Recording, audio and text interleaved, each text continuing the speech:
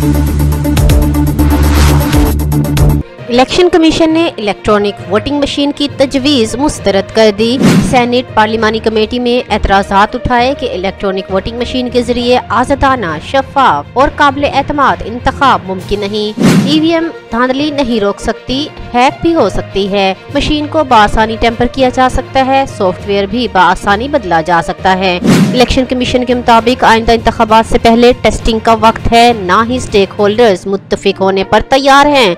मुल्क भर के लिए फंडिंग भी नहीं है।